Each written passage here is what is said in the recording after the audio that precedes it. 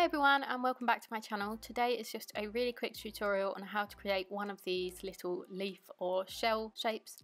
Let me know in the comments down below which one you think it looks like because to me it looks like a shell but I've also heard it called a leaf. So I'm just taking four cords and I'm going to attach them to a dowel using a lark's head knot. So that just means to split the cord in half like so, put it around your dowel and then pull the cords through the loop there.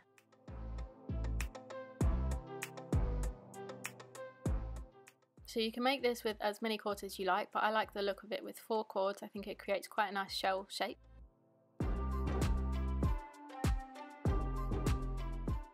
So now we are going to be taking the last cord from there and pulling it over towards the left and we're going to create rows of double clove hitch knots.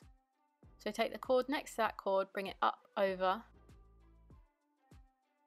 and then bring it behind and through that loop and then just pull that to the top of your work and repeat once more on the same cord so up over behind and through the loop. So that's one double clove hitch knot. So we're just going to carry on this pattern with using all the cords going from right to left. And I'm holding it at a slight angle going down towards the left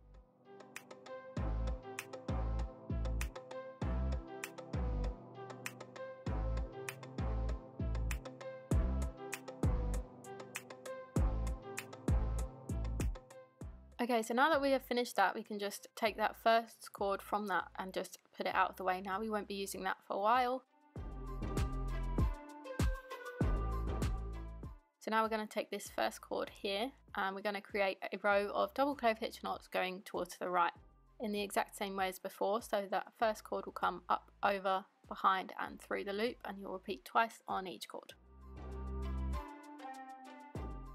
So this is definitely a super easy shape to create once you have the technique down. So again, we're going to take that first cord here and create another row going towards the right. So we're going to do this and we're going to create four rows all together. So you'll have the first row which is going towards the left and then you'll have four rows going towards the right. So this adds a really, really pretty shape and texture to any wall hangings and I really can't wait to use them in future wall hanging projects. Okay, so now that we have one row going towards the left and four rows going towards the right, it's now time to do four rows going towards the left. So we're using this last cord here and we're going to create four rows going towards the left now.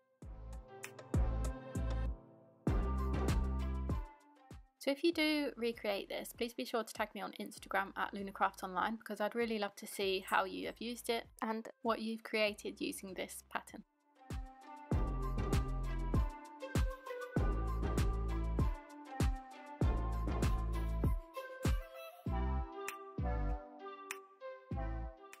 Okay, so I'm just finishing the last knot on the fourth row going towards the left now.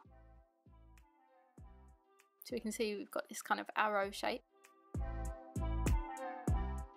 we're going to take these two cords here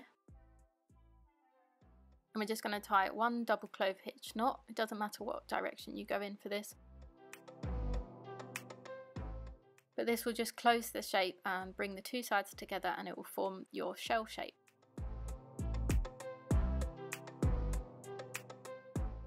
And there you have it, your shell is complete and it looks really lovely.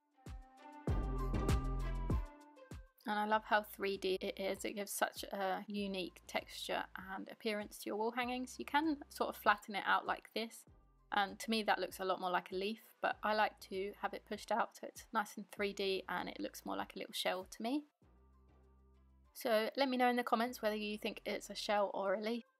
And again, if you do recreate this, please be sure to tag me on Instagram. The link to my Instagram is in my bio as always.